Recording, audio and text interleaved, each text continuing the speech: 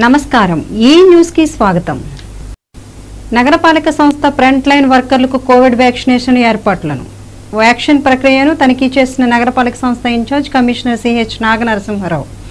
నగరపాలక సంస్థ నందు పనిచేయున్న వార్డు సచివాలయ కార్యదర్శులు వాలంటీర్లు పబ్లిక్ హెల్త్ వర్కర్స్కు రంగరాయ మెడికల్ కాలేజ్లో జరగనున్న కోవిడ్ వ్యాక్సినేషన్ ప్రక్రియను పరిశీలించారు.